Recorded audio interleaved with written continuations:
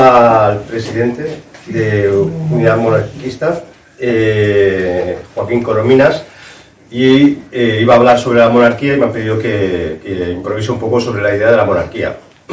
Creo que lo más conveniente es de intentar argumentar por qué es eh, conveniente para España una monarquía y más en estos, en estos momentos. ¿eh?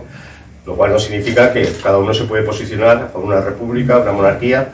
Eh, tenemos aquí miembros de ciudadanos de países republicanos, Francia, Suiza, que también tienen su tradición republicana, igual que España tiene su tradición monárquica.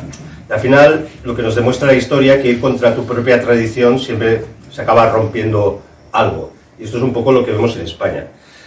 Nos han hecho creer que, que casi la monarquía es como un sistema antinatural, cuando posiblemente es muy natural.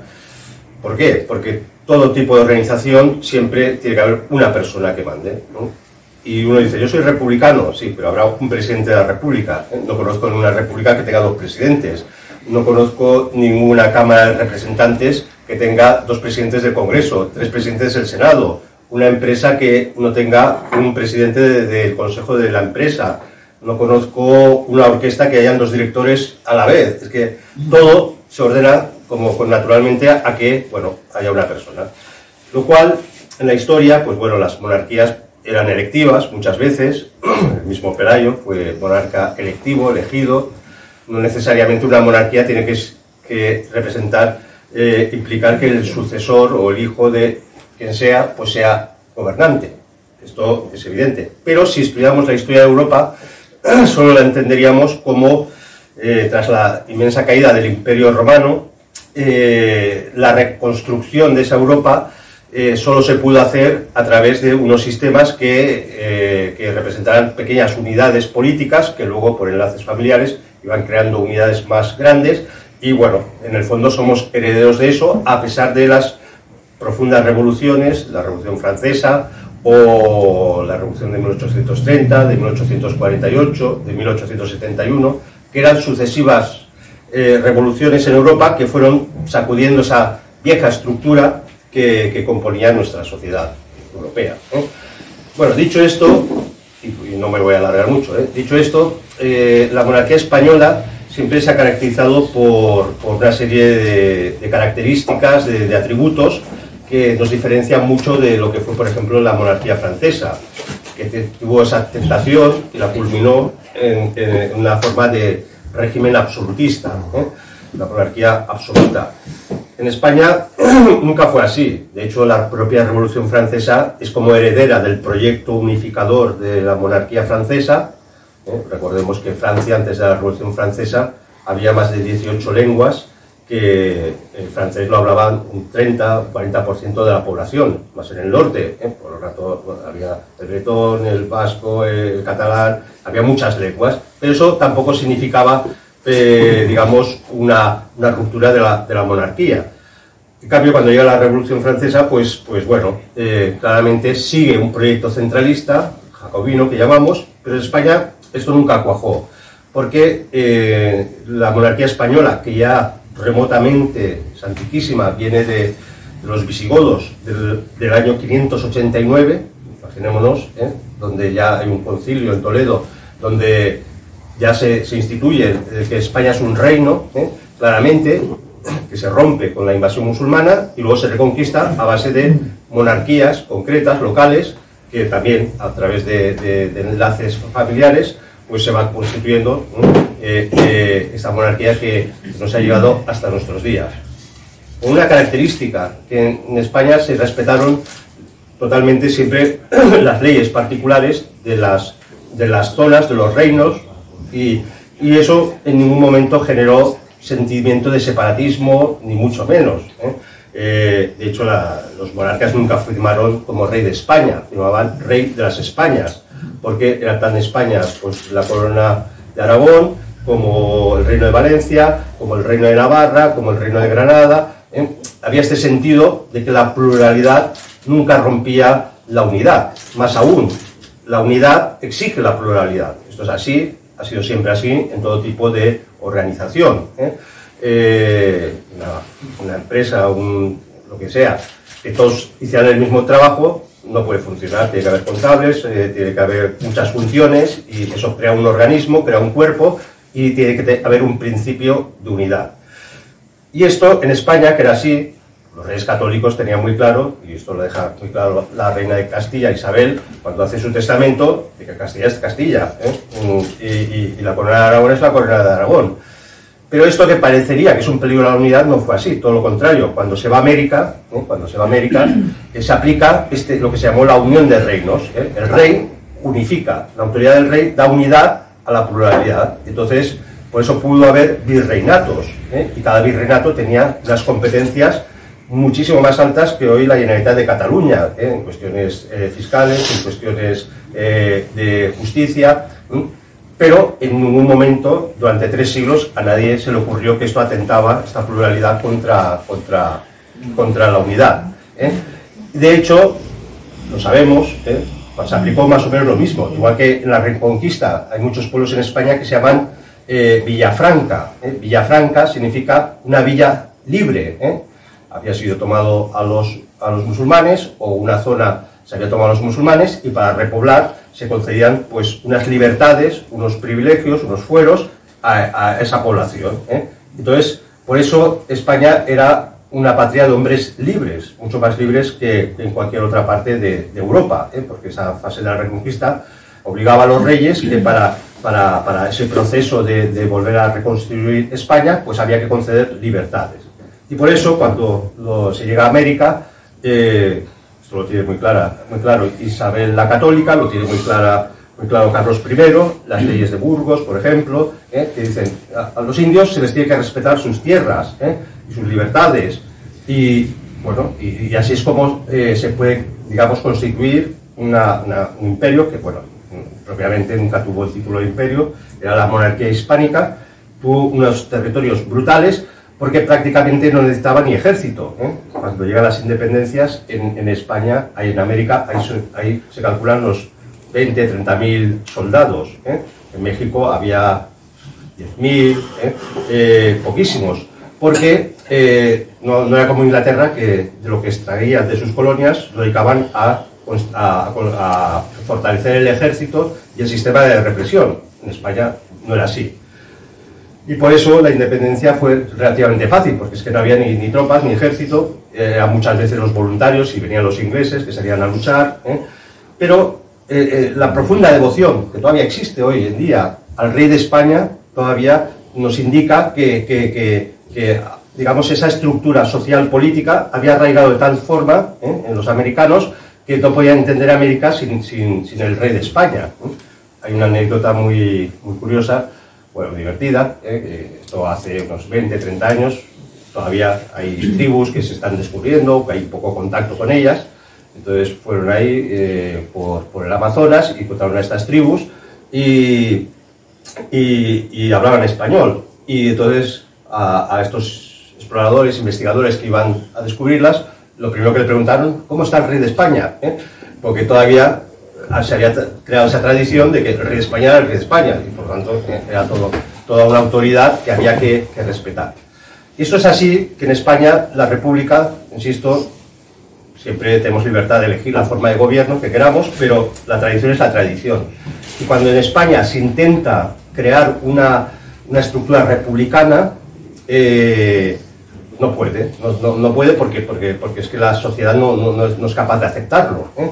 Por ejemplo, cuando se destituye por una revolución, eh, un golpe de Estado, el desagunto, y se, ah, deja caer a la monarquía de Isabel II, cuando se deja caer, eh, exiliada, los que han dado el golpe de Estado, que está el general Prim, que es catalán, masón, eh, bueno, toda una serie de generales que, digamos, tienen un proyecto republicano, masónico para España, Prim, que era bastante inteligente, se da cuenta que, pasar de la monarquía, que prácticamente teníamos 1500 años de tradición monárquica, a la república, no podía ser. Y queriendo constituir una república, lo único que se le ocurre es traer un rey, entre comillas, eh, Amadeo de Saboya, hijo de Víctor Manuel, que es un papa, era un monarca italiano anticatólico, que, digamos, le arrebata los estados pontificios al papa, y único de estos dice, este que venga aquí, ¿eh? que será como el puente para luego que venga la República. ¿eh?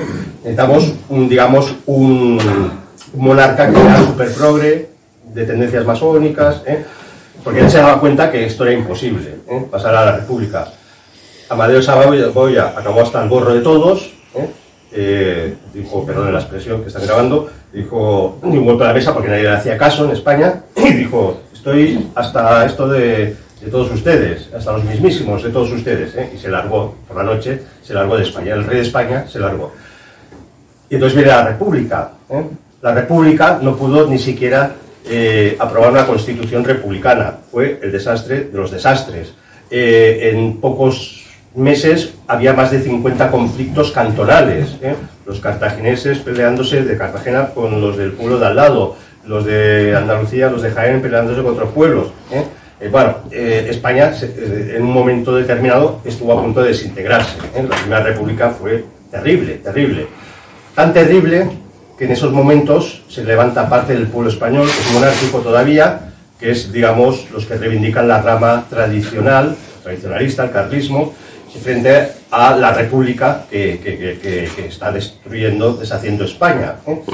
Y entonces, bueno, eh, se consigue, bueno, hay un autogolpe de Estado, que es el golpe de Pavía, para que, digamos, acabarla con la República, o sea, los mismos que habían traído la República, para que no venciera el lado monárquico, pues se cargan la, propia República y empieza la restauración borbónica, que se llama. ¿eh? Bueno, la restauración borbónica tiene una constitución, se estabiliza España otra vez, dura más de 40 años, pero al final las fuerzas que quieren disolver España pues saben que quieren la, república. ¿eh? Y, eh, bueno, no, quiero hacer una clase de historia porque tenemos grandes historiadores aquí, pero la, Segunda República es absolutamente una violencia contra, contra el orden constitucional, contra el orden jurídico, esto que estamos viviendo en nuestros días, pero además con muchísima violencia, porque hay unas elecciones municipales y se empieza a recontar los votos las capitales y parece que van a ganar los republicanos. Ya los republicanos salen a la calle, ya empiezan a quemar iglesias en Madrid, empieza como una revolución y eh, Alfonso XIII, que es el rey, eh, marcha, ¿eh? se exilia, se autoexilia. Cuando se acabó el recuento, habían ganado los, los partidos monárquicos, o sea que, que, al final llegó la república como por casualidad, ¿no? como de rebote. ¿Y eso qué provocó? Pues que España ya entraba en una vorágine otra vez de autodestrucción. El primer gobierno es de izquierdas, pero cuando ganan democráticamente, ah, por cierto, eh, se constituye una, constitución republicana, eh, se aprueba en el Congreso, pero nunca se pone a referéndum porque sabían que los españoles, la mayoría iba a votar que no. ¿eh? Por lo tanto, los republicanos que van de demócratas montan una constitución y no la someten al referéndum. Bueno, y entonces cuando en el 33 ganan las derechas, las fuerzas republicanas dicen, no, no, aquí no pueden ganar las derechas, ¿eh? esto es imposible, hay un pacto socialistas y eh, partidos nacionalistas, y es cuando viene el golpe de Companys en el 34. ¿eh? la república tiene que ser de izquierda, no puede existir una república de derechas. Esto es revolucionario y esto tiene que liquidar todo vestigio de tradición española. Y entonces es cuando, cuando viene esto, el golpe de Companys, la Revolución de Octubre, eh, ya antes, en el 31, en esas elecciones municipales, cuando llega de golpe la República, y aquí eh, Masia ya declara unilateralmente eh, su, la independencia de Cataluña, y los republicanos de Madrid, cuando le dicen, bueno, esto no puedes hacer, porque claro, nada más nace la Segunda República, ya España se deshace, volvemos al problema de la Primera República. Y le convencen a Masia de que acepte la República Española y a cambio le dan un título honorífico que es la Generalitat. ¿eh?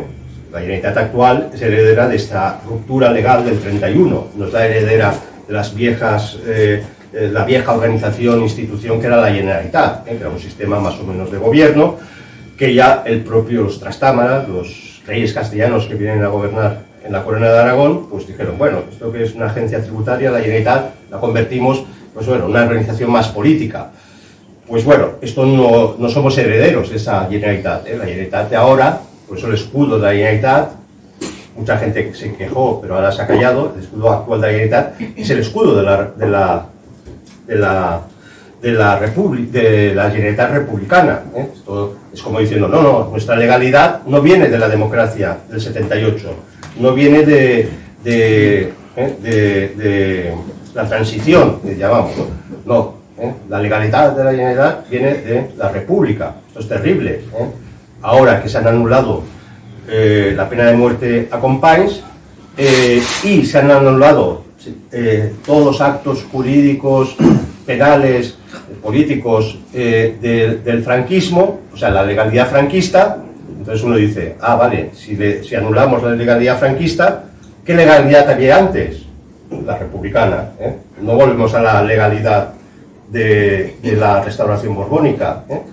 Esto es un poco lioso, pero esto es muy importante, porque esto significa que nos están diciendo que el régimen actual no es fruto del franquismo, que sí lo es, porque todos sabemos que hubo una transición, se pasó de las franquistas, se hizo un pacto nacional, eh, se hizo una amnistía global para entrar en una fase de democracia ordenada, teóricamente, pero de, de, repente pues ese pacto ha sido traicionado vilmente y ahora nos dicen, no, no, venimos de la República. Ah, pues si venimos de la República, ¿qué hace la monarquía? ¿Qué hace Felipe VI? También tenemos que borrarlo, no solo al franquismo, sino también a Felipe VI, eh, evidentemente Juan Carlos y todo esto. ¿Y esto a qué nos lleva? Nos lleva a una situación que vivimos los españoles, ¿eh? que muchos españoles de bien, con sentido común todavía, yo creo que no son ya los monárquicos convencidos de siempre, pero dicen, bueno, la monarquía es todavía el último parapeto que nos salvaguarda de volver a las catástrofes de la República. ¿eh? Vamos a defenderla, insisto, yo creo que no con ese convencimiento que otras generaciones habían demostrado anteriormente, pero lo que se nos está diciendo que la psique colectiva española lo que teme es una república. ¿eh? A lo mejor nos dicen, no, pero una república, la gente puede ser de derechas, de izquierdas, y España se mantendrá unida, una república federal, eso es lo que quieren los socialistas, ¿eh? unas reformas constitucionales, esto está clarísimo, esto lo pensó IZ, vamos a, como no podemos crear la república de golpe y esa república federal que queremos, tan bonita, pues bueno, haremos unas reformas en la Constitución para que la monarquía sea federal, que es a lo que van ¿eh? con estas... Y, y luego de la monarquía federal a la república federal será un pasito, presionamos a Felipe, se va, como se fue su bisabuelo, como se fue tal, y volvemos a la república. Y con la ilusión de que España pues volverá, bueno, será ¿eh? un paraíso. Bueno, sabemos que no será así, porque en cuanto desaparezca un principio unitivo, aunque sea simbólico, que es muy importante, pues cuando desaparezca este principio unitivo, eh, España se desintegrará, ¿eh? porque cada uno tirará para aquí, para allá, como lo estamos viendo, y, entonces eh, España, todo país está atrapado por su historia, para bien y para mal. Entonces nuestro país pues, ha tenido esta estructura, esta dinámica, este sentir, y tenemos las experiencias de dos repúblicas absolutamente desastrosas. Entonces, eh, por eso yo creo que frente a todos los ataques que sufre la monarquía, ya no la personalizo, ¿no? sino como concepto, como idea, eh, yo creo que es una idea potente políticamente, muy respetable políticamente, y a tener en cuenta, ¿eh? porque cuando los países, ya sabemos, cuando se juega con determinados principios constitutivos, hacer una nación es una cuestión de siglos ¿eh? y, de luchas y de sufrimientos colectivos brutales. Deshacer una nación puede ser de golpe, ¿no? Puede ser de golpe. ¿eh? Y entonces, y eso ya es, muchas veces es irreversible. Entonces, eh, tenemos que estar atentos a estos movimientos, sobre todo tenemos la experiencia en España, que el Partido Socialista ha sido como, como ese partido de dos caras, ¿no? Donde mm, siempre dice que es el Partido Nacional, pero que ha alentado todos los nacionalismos, los ha salvado eh, innumerables veces y eh, cuando ya a veces el nacionalismo ya parecía abocado al fracaso, pues siempre lo ha rescatado. Y esta es la experiencia que tenemos en Cataluña y de la historia tenemos que aprender. Muchas gracias.